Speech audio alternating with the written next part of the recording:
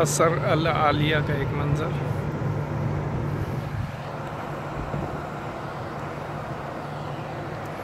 ये आप देखें। असर अल आलिया।